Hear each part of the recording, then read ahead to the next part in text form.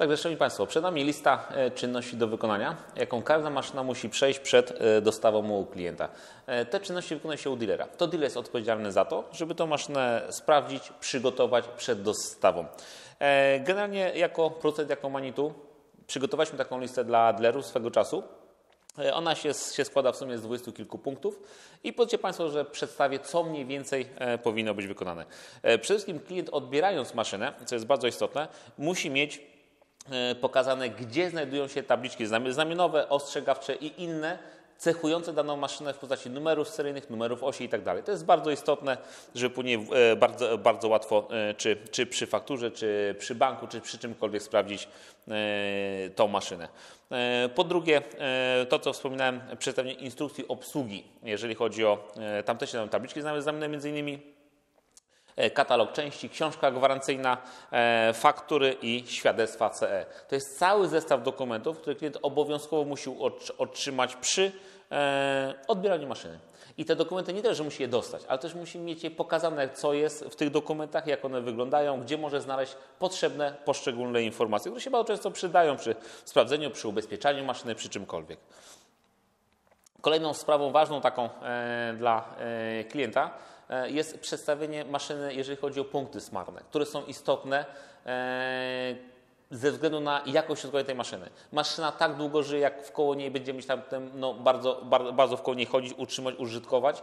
No, maszyny potrafią być, jak ją wiesz, no to jest za dużo powiedziane, ale jeżeli maszynę właściwie użytkujemy, to 20 tysięcy godzin i więcej, to nie jest jakiś problem dla maszyny i głównych podzespołów. Czyli punkty smarne istotne trzeba, trzeba klientowi okazać.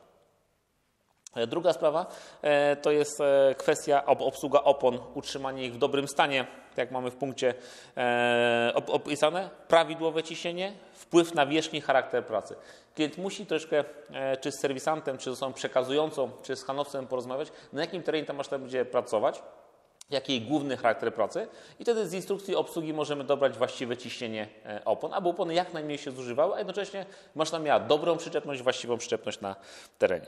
W kolejnym punkcie, e, który też dealerom wskazujemy, jest to procedura gwarancji, czyli jak wezwać serwis, e, jak następuje rozliczenie gwarancji, przeczytanie warunków gwarancji. To jest bardzo istotne. Ponieważ na przykład no, w gwarancję wchodzi cała maszyna, ale na przykład żarówki już nie. I ten temat należy z klientem bardzo dobrze omówić, e, wskazać mu telefon, pod który może dzwonić, bo często jest tak, że e, handlowiec maszynę sprzedał i pierwszy telefon e, od klienta jest do handlowca, zawsze, naturalnie. Coś się dzieje e, z maszyną, coś, coś, coś się stało. To tylko wydłuża procedurę gwarancji. To nie jest tak, że jak dzwonimy do handlowca, to coś przyspieszymy, absolutnie. Najlepszy jest bezpośredni kontakt klienta z osobą, która odpowiada za daną czynność w firmie. To jest najlepsza droga. Dlatego musimy klientowi w przekazania maszyny wskazać drogę, ścieżkę e, e ewentualnych e, napraw e, gwarancyjnych.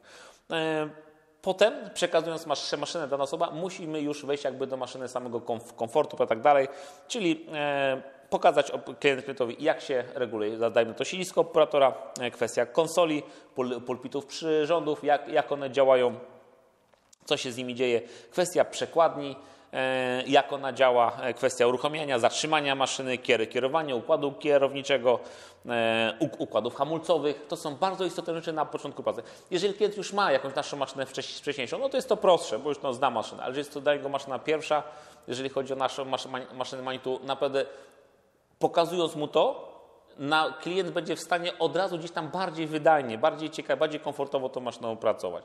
I będzie pewnie mniej nerwów, mniej, mniej stresu, jeżeli chodzi o, o, o sprawdzenie e, maszyny podzespołów. Tutaj się też kłania instrukcja obsługi, bo często czasami rozmawiam z klientami i z ciekawości zadaję pytanie po roku użytkowania maszyny i tak dalej, czy mogę zobaczyć instrukcję obsługi. Jeżeli ta instrukcja obsługi będzie zafoliowana, to jest to bardzo, bardzo zły, zły, zły, zły punkt, zły, zły, zły, zły przykład. Tak z ciekawości zawsze jako, jak, jako, jako tam, no nie wiem, kierownik produktu w Polsce sprawdzam, jak, jak, jak, to, jak to wygląda, czy klient w ogóle się zapoznał z instrukcją obsługi, a to jest bardzo ważne. E, kolejny temat jest wiadomo praca maszyną, czyli właściwy sposób e, mocowania osprzętu, właściwe ich wykorzystanie w pracy. E, czasami klient ma jakiś własny pomysł na łyżkę czy, czy, czy osprzęt, wielkość, szerokość itd., tak itd. Tak Jeżeli handlowiec przy ofercie dobrze ten osprzęt dobierze, to, później, to właśnie mocowanie charakteru pracy na przykład z naszym systemem Easy Connect System. No bo wszyscy my mówimy, że Easy Connect System trzeba przycisnąć, żeby odłączyć osprzęt. Trzeba przycisnąć, żeby też podłączyć os, osprzęt, już chodzi o chwytaki hydrauliczne. W momencie pod, podłączania jest to bardzo potrzebne. Zwalniamy ciśnienie w sekcji, łatwiej się e, sekcje pod, podpinają. Przy odłączaniu również polecam użyć systemu Easy Connect. Dlaczego? Dlatego na przykład jeżeli nie domkniemy do końca chwytaka hydraulicznego, a mamy pod, pod, podpięte e, przewody hydrauliczne i w tym momencie e, wciśniemy Easy Connect System, to chwytak potrafi że się do końca dotknąć. Czyli zejdzie ciśnienie również z, chwyt, z chwytaka i to jest bardzo ważne. Także taki, takich szereg elementów właściwego podłączania czy odłączania osprzętów jest istotny. E, później dochodzimy już takich tem, tematów, punktów e, typu jazda, czyli światła, wycieraczki, e, używanie klimatyzacji, e, jak, jak, jak wygląda. Inaczej się steruje klimacją manualną, inaczej klimacją automatyczną. E, kwestie zaczepów do przyczep, zaczepów holowniczych, procedura holowania. Czasami może się przytrafić procedura holowania i tak samo jak w nowoczesnych silnikach czy kombajnach ta samej wodowarkach, on, ona nie jest, nie, jest, nie jest prosta. Czasami mają skrzynie e, typu CVT czy, czy inne, bo takie również w naszych maszynach występują. Już samo holowanie nie jest takie proste. Czasami można maszynę bardziej uszkodzić holując ją, niż, niż sama awaria e, była wcześniej. Kolejne tematy, które też sugerujemy według listy, aby, aby klientowi przedstawić przy przekazaniu maszyny, to jest na pewno układ paliwowy, jakość paliwa, żeby na to też zwracać uwagę, sprawdzenie poziomu płynów, chłodnica, silnik, przekładnia, zwolnice, te wszystkie elementy, żeby klient wiedział w pierwszych no, 50-100 godzinach pracy, bardzo często tam polecam klientom zaglądać. Jak ten olej wygląda, jak on się zachowuje, e, jego na przykład temperatura, sprawdzać, jak to wszystko działa.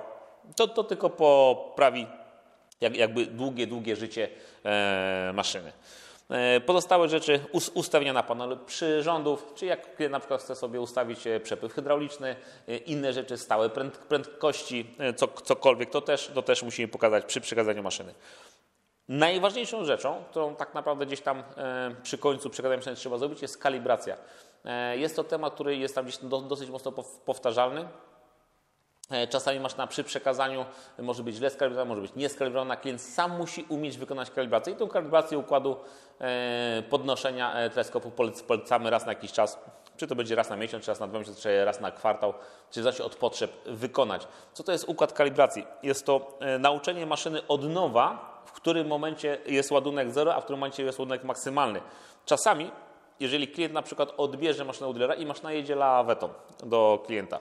E, często e, kierowcy e, daną maszynę przyciskają łańcuchami, czyli za tylny zaczep chwyta, spina i następuje lekkie przygięcie tylnej osi. Maszyna jest przyciśnięta do lawety.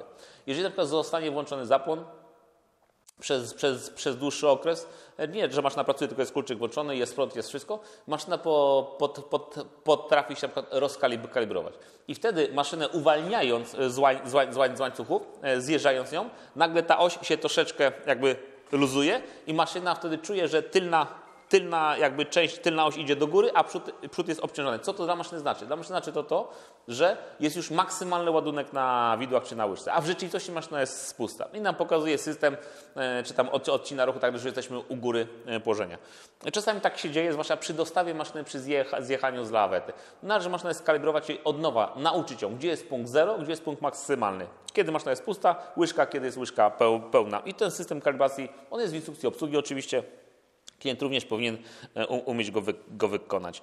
E, na samym końcu myślę, to już są pytania od, od, od, klienta. Może czegoś nie wie, coś trzeba dopowiedzieć, ale gwarantuję Państwu, jeżeli e, osoba odpowiedzialna u dealera za przekazanie maszyny właściwe klientowi wykona tą całą listę czynności, którą proponujemy, aby wykonać, klient się z nimi zapozna, mamy wrażenie, że, że tak zwane 99% problemów wieku dziecięcego maszyny u klienta zniknie. To jest nasza jakby główna idea, żeby klient miał po prostu mniej nerwów, mniej stresu, mniej tego wszystkiego. Czasami klient coś się dzieje, nie wie jak zareagować, e, dzwoni tu, dzwoni tam, telefony. No oczywiście serwis przyjedzie, taki czas minie, ten czas jest cenny, on, on ucieka, czy przy żniwach, czy przy czymkolwiek, już nie wspominając o, o gospodarstwach e, mlecznych, gdzie zadawanie paszczu, usuwanie obornika jest bardzo istotne, jeżeli chodzi o e, czas, to, to, to mamy wrażenie, że stosując tą listę czynności wydania maszyny dla klienta. Mam nadzieję, że klient będzie bardzo, bardzo zadowolony z naszej obsługi, z naszych maszyn i z naszej sieci dealerskiej. E, z istotnych dokumentów, o których już e, wspomni wspomniałem, e, są to właśnie m.in. książka konserwacji, czyli tak zwana książka gwarancyjna, gdzie na stronie na stronie, o tutaj już nam się pokaże, na stronie numer 13 jest zaświadczenie o przekazaniu urządzenia do eksploatacji. Jest to bardzo istotne urządzenie, bo wtedy my jako fabryka, jako producent wiemy, że od tego dnia ruszyła gwarancja dla klienta. I to jest bardzo ważne i tego musimy pilnować, przestrzegać, aby maszyna była na, na gwarancji. To taka karteczka wypełniona przez dealera i przez e, klienta, tutaj jest podpis klienta, musi do nas trafić, wtedy mamy uruchomienie gwarancji. Po e, wypełnieniu zaś- zaświadczenia, o którym już żeśmy wspominali, e, informacja na kolejnej stronie jest również bardzo istotna. Tutaj pisze wyraźnie, przekazanie do eksploatacji jest e, dar, darmowe i powinno zostać wykonane przez dealera Manitou, czyli przez firmę, która jest autoryzowana. Czyli ten dokument, aby maszyna posiadała gwarancję fabryczną, musi być wypełniony przez autoryzowanego dealera Manitou. E, Sieć naszą autoryzowaną dealerską możecie Państwo znaleźć na naszej stronie internetowej, jak również w szeregu e, reklam, które gdzieś tam w mediach, czy, czy budowlanych, czy, czy rolniczych e, zlecamy. To jest bardzo ważne. Ten dokument wypełniony przez klienta i autoryzowanego dealera Maninitu dopiero stwierdza właściwość gwarancyjną maszyny. I nie ma innej możliwości. To jest, to jest jedna rzecz. Druga rzecz, klient razem z fakturą otrzymuje od nas, e, czyli w sumie od dealera, e, świadectwo gdzie jest opisana maszy- maszyna, jak, jakie spełnia normy, jakie para, parametry. To jest dokument, e, na przykład jeżeli maszyna gdzieś tam musi trafić pod UDET, tego typu rzeczy. Jest to niezbędny dokument przy, przy naszych maszynach. I oczywiście dwie rzeczy, tak już gdzieś tam typowo pod, podręczne dla klienta. Jedna to jest instrukcja obs- obsługi i ona ob- obejmuje, obejmuje na przykład dany typo, typoszereg. E, Tu na przykład mamy modele MLT 635, e, 737, 733. Jest to pewien typoszereg, e, bardzo pod, podobny, jeżeli chodzi o e, podzes, podzespoły. I do każdej tej maszyny mamy wszystkie informacje instrukcji obsługi, oczywiście e, w, języ, w języku polskim. To jest, to jest bardzo ważne. Instrukcja musi być w języ- w języku polskim. E, Drugą część, częścią instrukcji obsługi jest e, katalog części. Katalog części jest potrze- potrzebny na gdzieś tam kiedyś przyszłościowo, kiedy będzie chciał nabyć czy, czy olej, czy filtry, czy cokolwiek, jakiekolwiek in, inne części. Tutaj mamy całą maszynę rozrysowaną, rozpisaną e, na podzespoły, gdzie wszystkie informacje klient tutaj po prostu znajdzie. Tak jak zauważycie Państwo, to jest nierozfoliowane, to trafia do, do klienta w takiej formie, a ja sobie gdzieś tam mówię, czasami jeżdżąc, spotkając się z klientami, zapytuję o instrukcję, czy mogę ją zobaczyć. Jeżeli będzie zafoliowana, to będzie duży minus dla dealera. Dziękuję.